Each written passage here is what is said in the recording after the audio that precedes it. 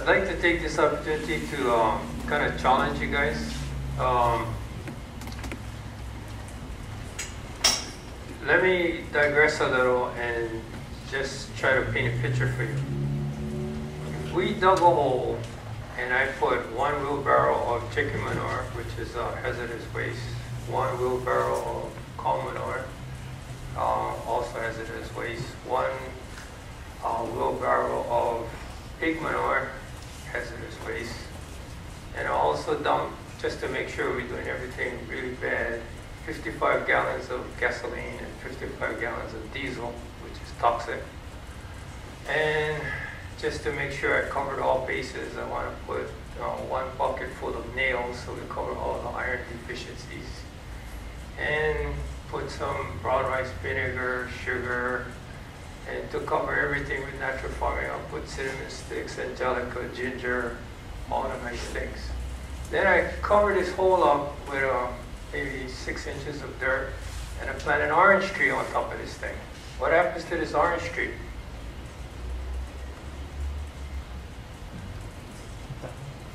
You guys know it's going to grow great. so the question really is, after this tree gives oranges, can you eat it? And the answer is absolutely yes. Is there any E. coli in there? Absolutely none. So how did this happen? So that's kind of like how you got to kind of look at natural farming. Okay. Um, so you can just keep that picture in, in, in your head and, and, you know, try to challenge yourself with it. Okay, the other thing is, um, how many of you own one of these?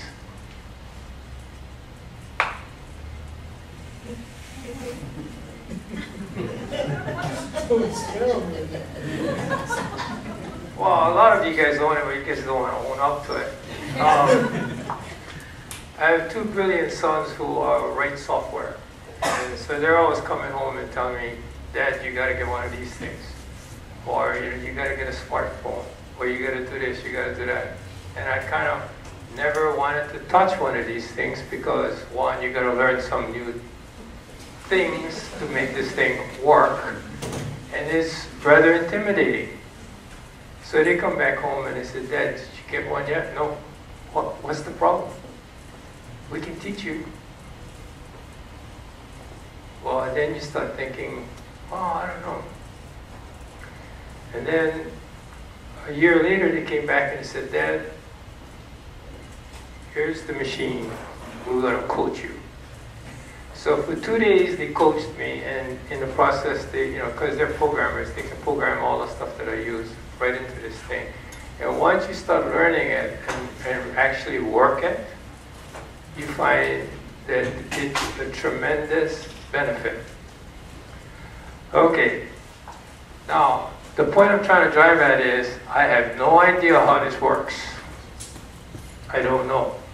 I don't know what hardware it uses. I don't know what processor it uses. I don't even know how big the RAM is. And I'm not even sure which version it is. All I know is this thing is fantastic. When you're working with uh, natural farming, we got to take it to the next step. We're working with things that we don't quite totally understand, and you're taking a step in faith to some degree, similar to how you take a step with this.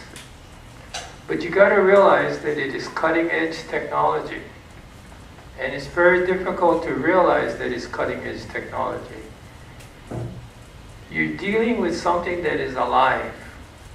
You know, with, with these things, you can actually fly a drone.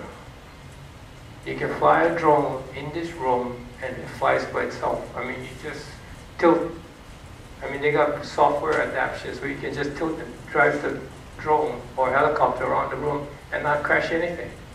That's how fantastic and powerful this thing is. the point I'm driving at is the microorganisms are alive. So when you work it in the ground, it's alive. And guess what? The learning curve on one generation of this is 16 weeks. it's hard to understand what 16 weeks can do, but in 16 weeks, it turns four generations in one year. That's how fast the technology in this thing is moving, and that's why they can create such fantastic things. Like they can transfer satellite things and GPS right into your smartphone, right into this. Microorganisms turn one generation in one day. That's 365 generations in one year. So this thing is alive. It's in the ground, it's sensing faster than you can sense. And guess what? It works 365 days a year and it doesn't care if it sleeps and it doesn't care about whether it's daytime or nighttime. It's still working. The focus on natural farming is to create the environment so it can survive and you can utilize it. That's cutting edge. We don't have any other thing that is this far advanced. We gotta take the position of trying to figure out how to use it, how to maximize the benefits. Now let me take one more giant step further in front. Natural farming is a system that can be used. But the biggest thing that I think we all are not focusing on is wellness. If you Google um, nutrient-dense products, nutrient-dense foods, you will find an amazing array of information regarding human health. That's the next big frontier that we're going to get into.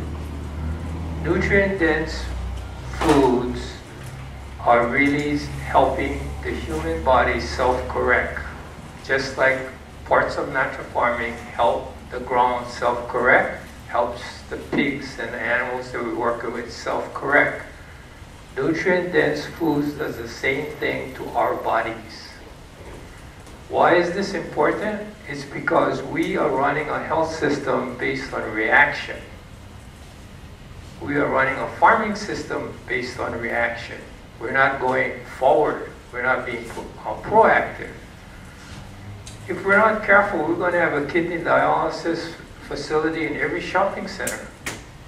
Because what are the um, crucial elements in your body that's the body's filter? Kidney, liver, pancreas, and your lungs. Where are the health problems coming up really fast? All of those areas. So when you're dealing with natural farming, you are able to produce nutrient-dense products that's very clean. You're producing plants that are higher in oxygen antioxidants, higher in minerals, higher in vitamins, no pesticides, no herbicides, no uh, hydrocarbon compounds. When you're producing animal products, you're producing animal products that have no hormones, no antibiotics, and no vaccines. So just think about this. Which comes first? Nutrient-dense foods, clean product, health.